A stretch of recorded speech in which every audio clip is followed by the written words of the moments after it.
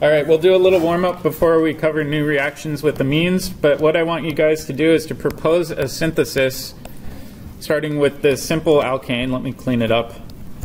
And I want us to make this compound. What would we name this amine, first of all, before we do our synthesis?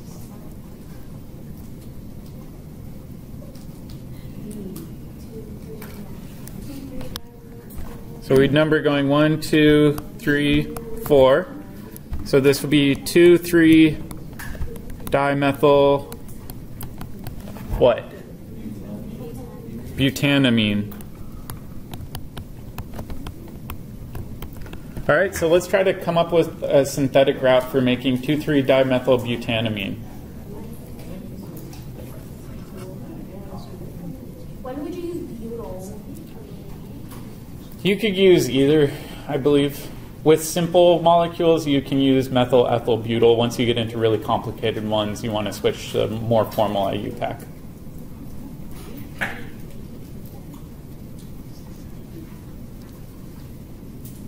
So this may require a few steps to get there.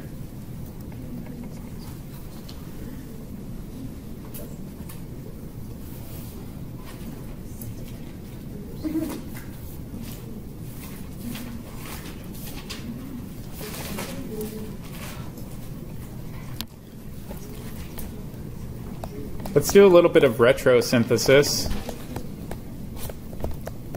and work backwards. So I'll get you guys started with this.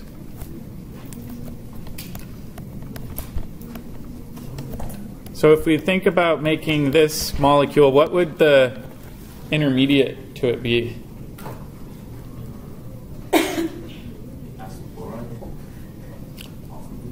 Yeah, we could maybe have something like uh, a carboxylic acid that we're ultimately converting. But let's do really simple stuff. If we think about our notes yesterday, if we look at all of these, all of these reactions that we did yesterday involve starting with an alkyl halide, right? We can change an alkyl halide to an amine pretty easily by a few different routes. So what I would do is say, all right, let's go backwards and we'll put a halogen on there. And then the main question is, well, how can we get a halogen on that position? What do you guys think? Double bond.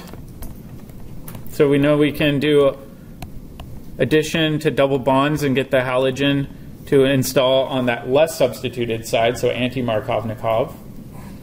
And then if we think about this going backwards even further, we can make a double bond from another alkyl halide. So we could have a leaving group there and do an E2 elimination reaction. And then if we keep on going backwards, we can add a halogen, no problem, to that most substituted carbon. So let's try to come up with a step-by-step mechanism for going, or not mechanism, but a step-by-step synthesis for going from our alkane to our substituted amine.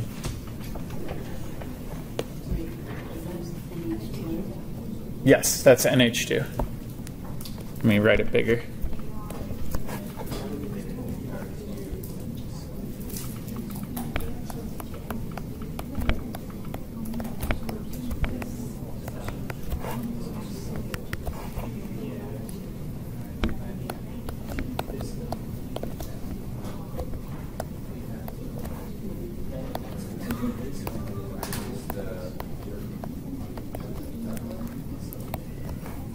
I'm just going to do the forward arrows and then I'll ask you guys to help me fill in the reagents for this. So we've got this step. Next thing we want to do form our alkene.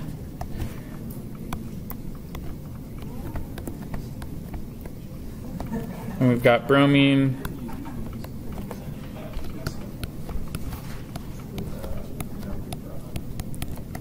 All right, so for step one, what reagents do we need?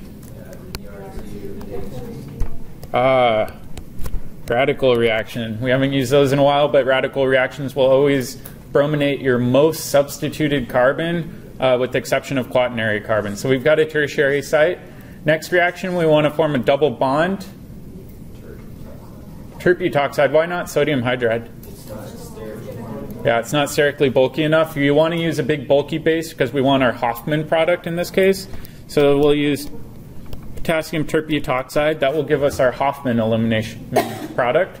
And then if we want to add bromine back to the less substituted side, what can we do?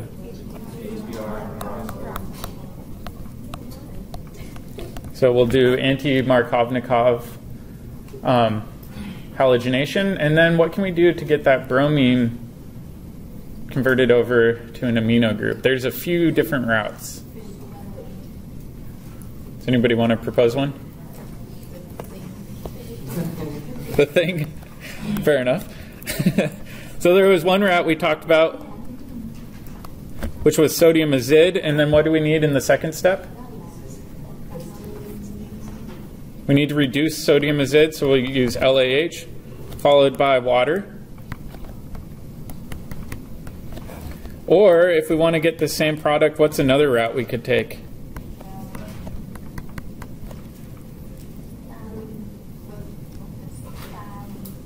Phthalimide, exactly. So if we treat this first, I'll do step one with phthalimide. Remember, you first need to have deprotonated phthalimide, so it's got to have that negative charge on there. And then we react it with our alkyl bromide. And then what do we need in order to pop it open and to release our amine? Yeah, acid or hydrazine. So H2 and, and H2. So that was our Gabriel synthesis. Was there any other route? What if we use sodium cyanide? If we did sodium cyanide, we'd actually end up with an extra carbon on there, so that wouldn't work super well. So these would be probably the two best routes for getting your amine installed. Um, and either method works well. What's the benefit to using a Gabriel synthesis as opposed to sodium azide? What was that? It won't give you cancer and it won't explode in your face. So the Gabriel synthesis is a nice workaround um, to avoid working with the azides. All right, now we get to change gears to more interesting chemistry.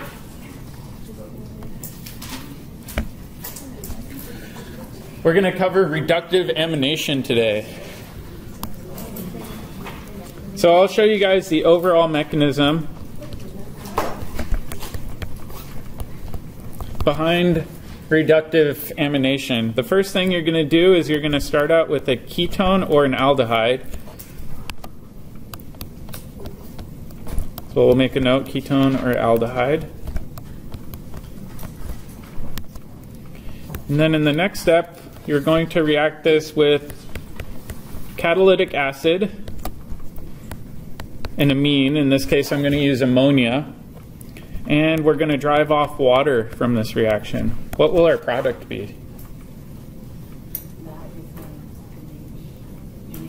Yeah, what do we call that functional group when we have a carbon nitrogen double bond?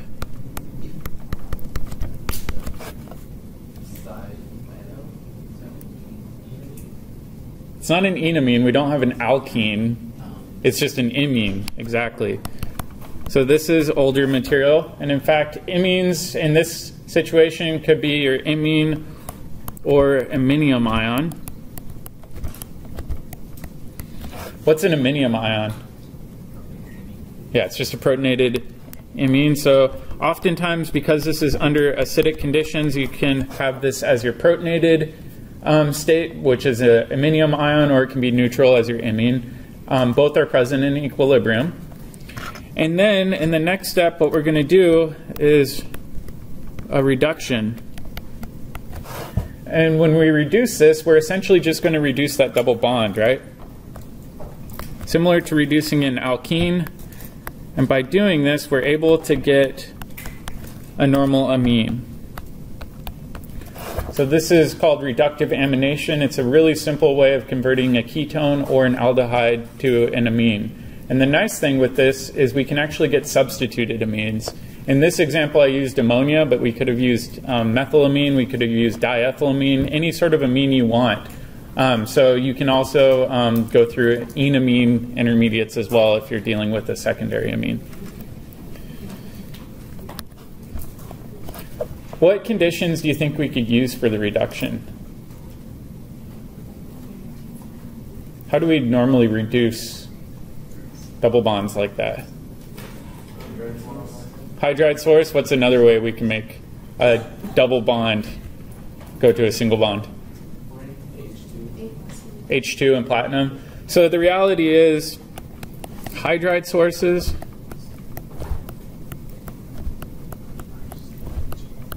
or H2 and palladium on carbon can be used, but are unselective. Which means if you're doing a complicated natural product synthesis, you don't want to accidentally reduce other sites on your molecule. You want to pick um, the right reagent for that reduction. And so what we're going to do is analyze the reactivity of a ketone versus our iminium ion.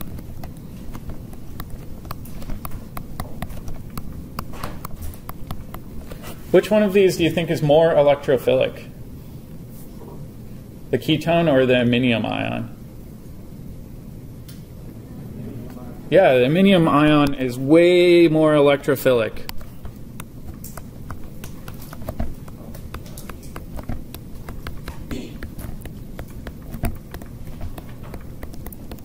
So if we think about this, because it's way more electrophilic, we can get away with using much more gentle reducing conditions.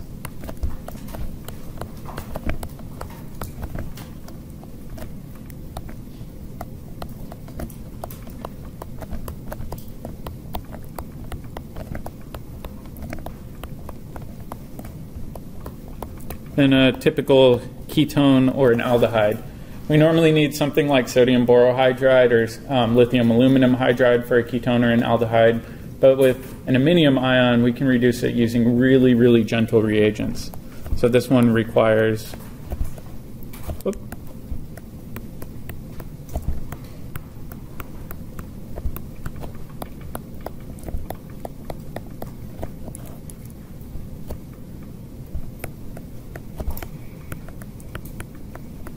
So let's make a list of some um, hydride sources.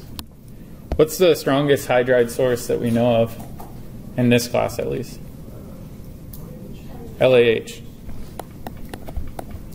So we've got lithium aluminum hydride. If we think about the trends, we know that this is going to be the strongest. What's the next strongest?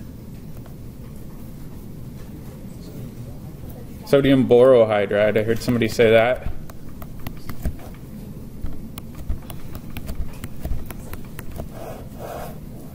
All right, so sodium borohydride we know is a little bit weaker, and that has mostly to do um, with the nature of the aluminum um, versus the boron. Um, aluminum, in this case, is going to be a much better hydride donor. And then last but not least, we're going to see a new reagent get used a lot that's a variant of sodium borohydride. Whoops.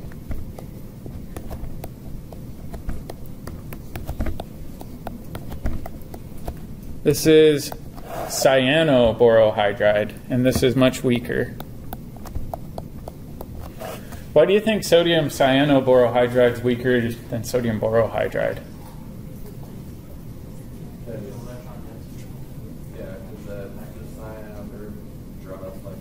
Yeah, exactly. If you think about this cyano group, it's a really strong electron withdrawer that's going to stabilize the anion on um, the boron.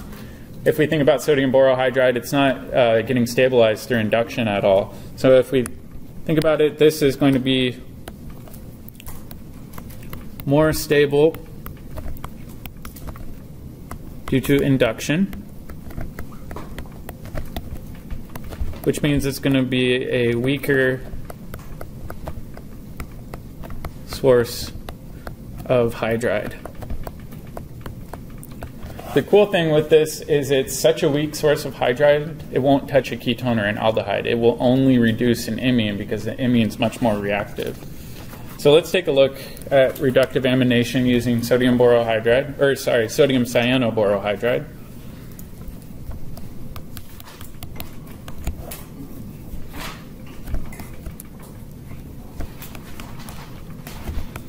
We take a ketone and we treat it with NaBH3CN, the sodium cyanoborohydride, you get no reaction simply because that hydride source isn't strong enough. But our workaround is to first convert this ketone into an imine.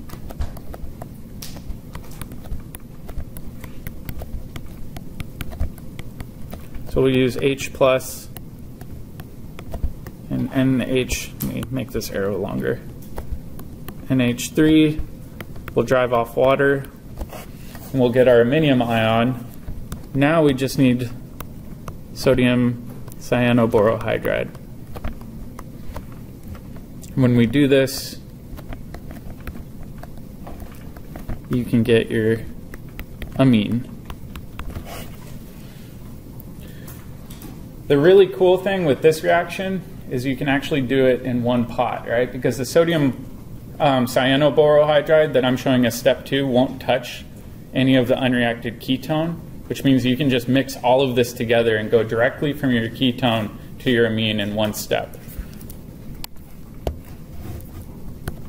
So let's make a little note here.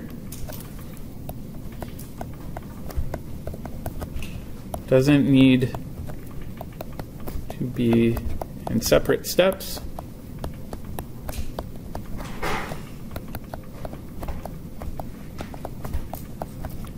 Since NaBH3CN cannot react with the ketone. Yep. Um, what about um, regioselectivity? Is it, uh, did they get, is it produced enantiomers? Or, because I noticed it's, looks like it's sp3 hybridized. So are you wondering, is this position going to be R or S? Yeah. In this case, you're not going to get um, stereoselectivity out of this reaction. You'll get a racemic mixture, at least at that stereocenter. So it's really hard to control stereochemistry, at least using um, the reactions we see in the Klein textbook.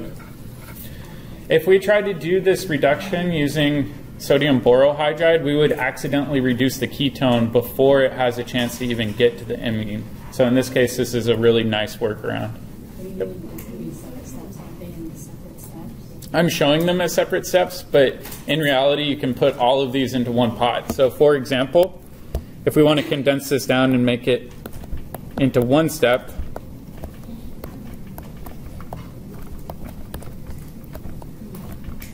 oops, should be a single bond. First step, you would have acid and NH3. Step two, you would have, oops, sorry, I just was trying to make this point and did a poor job. And then below the arrow, you put sodium cyanoborohydride. So you don't need to put number one and number two. This can all go in the same reaction flask. Does that make sense? Okay, the nice thing about this reaction is it can be used to form all sorts of amines. So I'll just take a simple ketone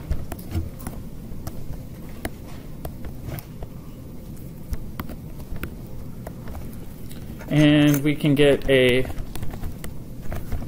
primary amine. So we'll do NH2.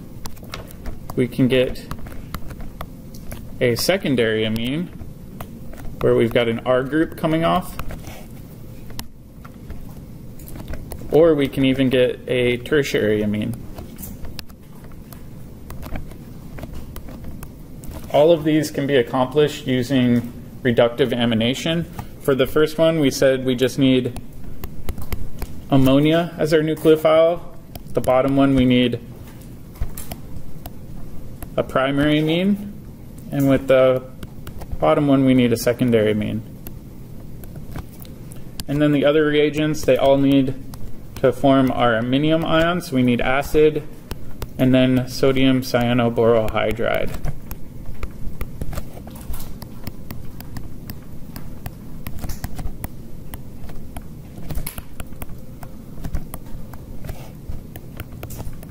The other day I said getting substituted amines is really hard with alkylation because you over alkylate. This is a nice way of controlling it and gaining selectivity. So we can get our primary, secondary, or tertiary. What if we want to get a quaternary I mean, Can we use reductive amination directly? No. In fact, if we try to um, form an imine with a um, an amine that's got three alkyl groups on it, it won't work. However, the workaround is just add methyl iodide to this, and the lone pair on that nitrogen can attack methyl iodide.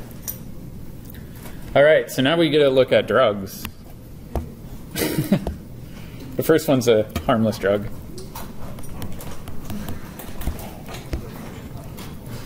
All right, so first drug is one of the best sellers in the United States. Not Tylenol. so what we're going to do is treat this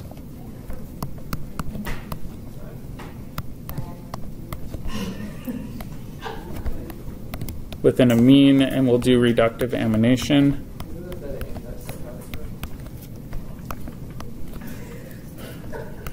Hang on a second. Can't write this fast. This is called Zoloft. So, Zoloft is one of the biggest selling antidepressants. It's used for anxiety disorders and a wide variety of other things. One thing I will say that I find pretty interesting is if you look at a lot of these chemical structures for psychoactive compounds, they've got this benzene ring and then over here, they've got a nitrogen somewhat removed from the benzene ring. So oftentimes these drugs that are used to regulate your brain chemistry are um, compounds that have aromatic moieties and amino moieties coming off of them. So Zoloft is one of those examples. What reagents would we need to accomplish this transformation?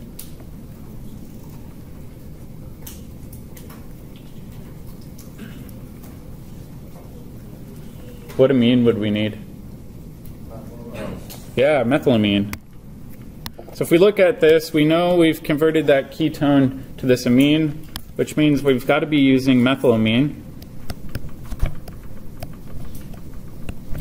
And then in step two, we could treat this with catalytic acid and then sodium cyanoborohydride.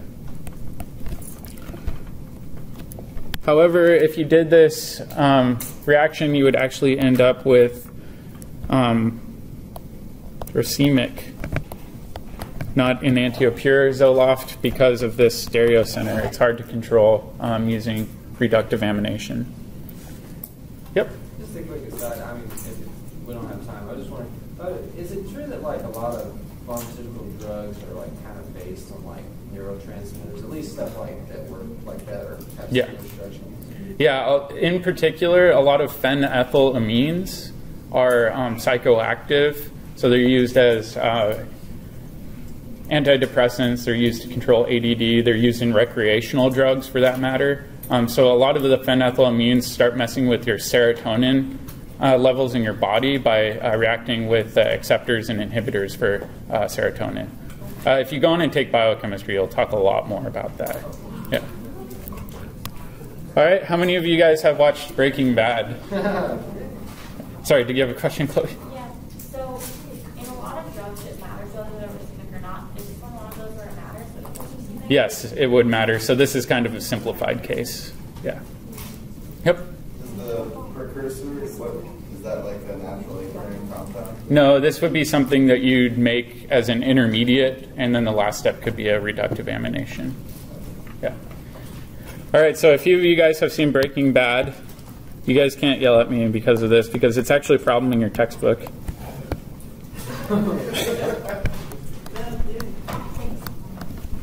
but in Breaking Bad, they actually hired some chemists to make sure that the show was accurate.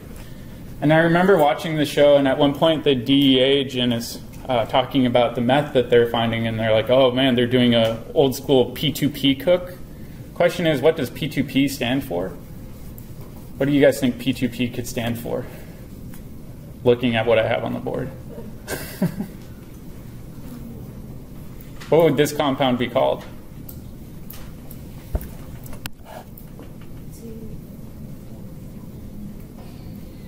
If we were to number it, we would go one, two, three, right? So it'd be phenyl, two, propanone. So when they refer to a P2P cook in Breaking Bad, they're actually referring referring to phenyl 2-propanone. It's implied that's what's what Walter White is using. And then what he's ultimately doing is converting this into an amine. Oops.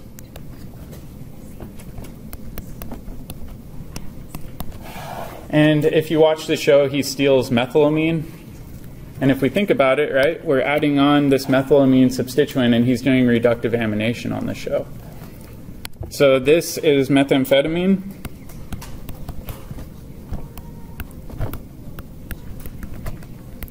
Super nasty stuff. Um, it's a really big problem because of how easy it is to synthesize. So it's pretty common. I get OChem students, they're like, Do you know how to make meth? And it's like, Yeah, pretty much any sophomore that's taken organic chemistry could figure it out.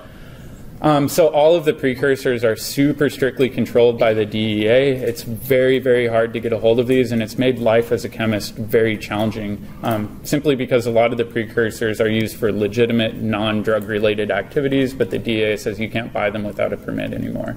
Um, if we're thinking about how to do this, you just take that methylamine,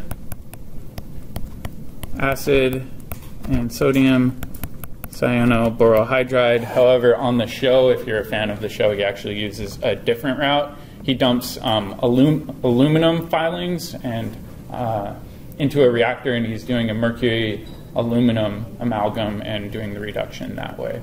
Um, he doesn't use sodium cyanoborohydride. Yeah.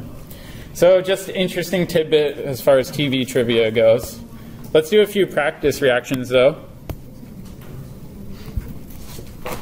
So propose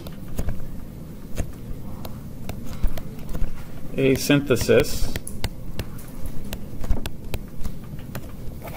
using reductive amination for the following compound.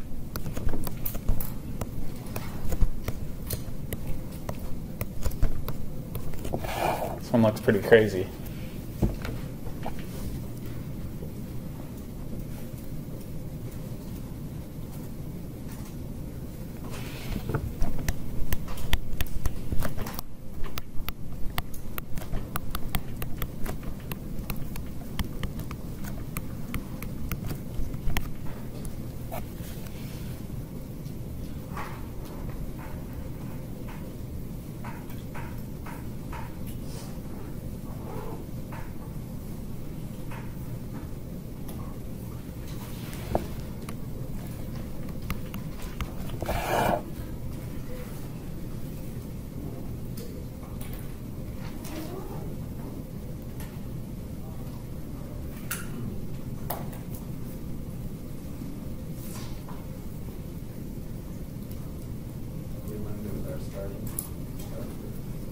Yeah, this one's a little bit tricky, but if we think about reductive amination retrosynthetically, right, we either made this bond in blue, we either made that bond in green, or we made that bond in red, right?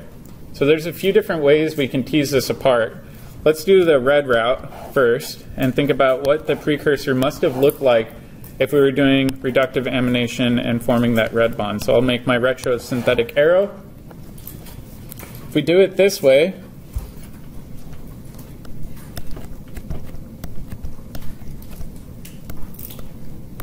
that means that that nitrogen must have attacked some sort of carbonyl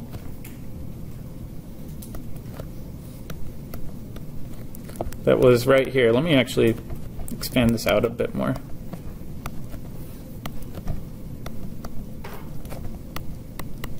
Right, so if we're reforming that red squiggly bond, we're basically forming a new single bond between where that oxygen is and where the nitrogen is. So that's one option. What about the blue route? Yeah, it'd be the same thing, just a mirror image. So I'll just put the same. And then if we're doing the green retrosynthetic route, we could do it. However, it would look a little funny.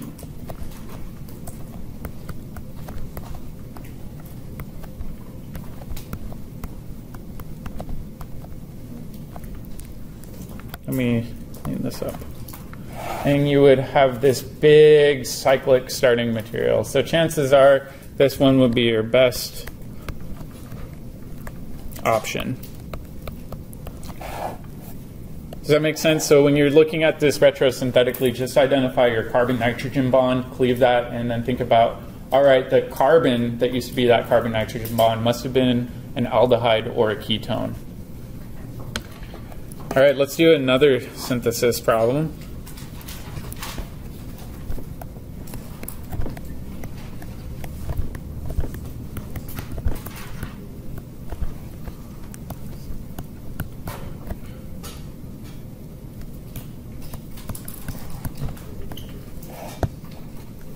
All right, in this synthesis, what I want you guys to do is to start with methyl cyclohexane. And I want you to make this compound.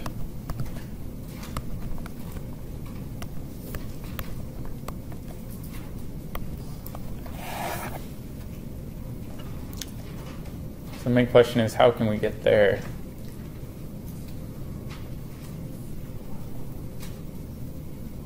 So I'll let you guys work on this. You're more than welcome to get together with the group and see if you can come up with a synthetic route to convert methyl cyclohexane to this complicated looking amine.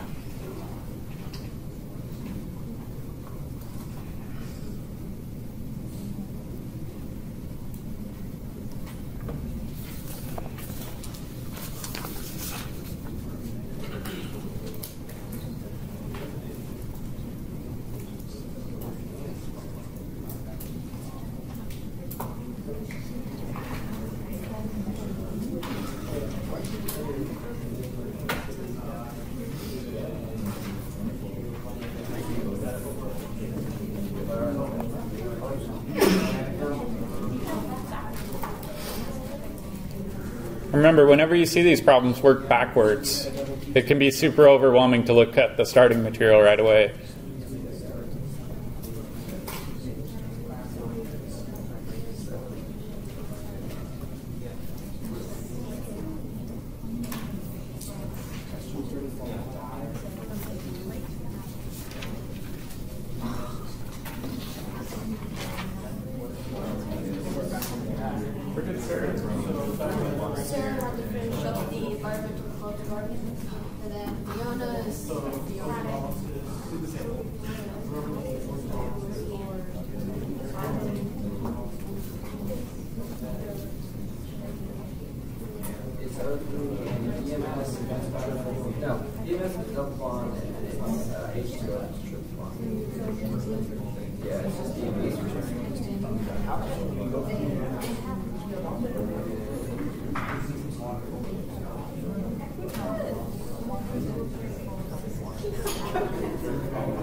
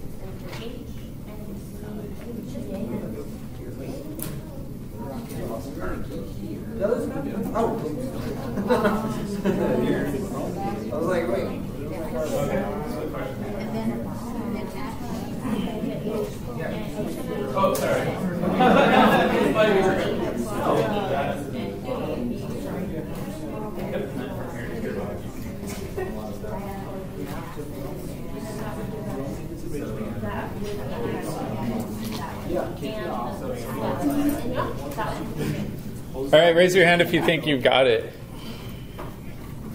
All right, look, looks like we've got a pretty good portion. So let's work backwards through this. If we're doing this retrosynthetically, we know that each of these bonds must have been formed, right? That carbon nitrogen bond must have been a CO double bond before. So we'll kind of work backwards.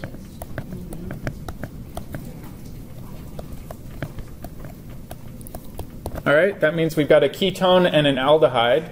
In order to go in the forward direction, we would need dimethylamine acid and sodium cyanoborohydride. Now the big question is, how can we get from that cyclic ring system to the ketone and aldehyde? Okay, so ozonolysis. We'll work backwards.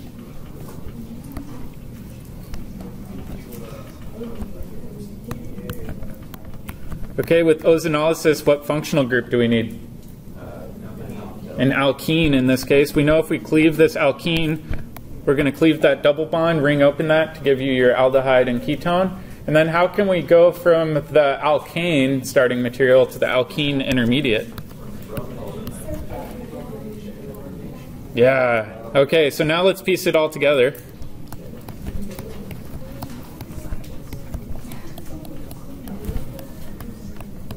So forward,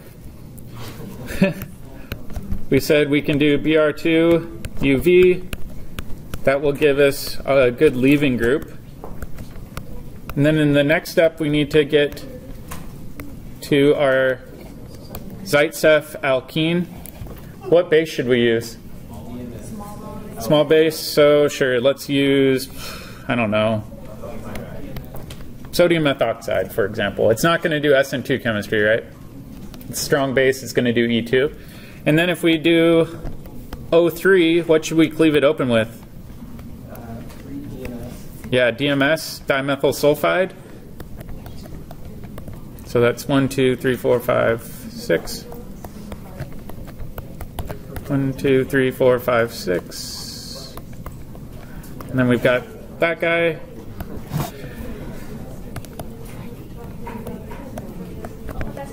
Yep. You can also use NaH. Any non bulky base will give you that more substituted alkene. And then we've got NaBH3CN.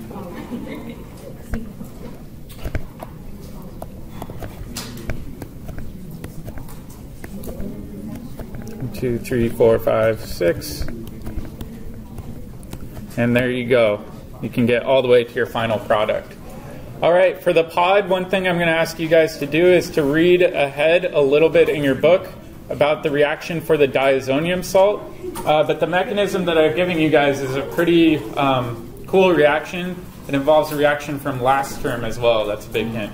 But uh, if you guys get stuck on it, let me know and I can help you work on it.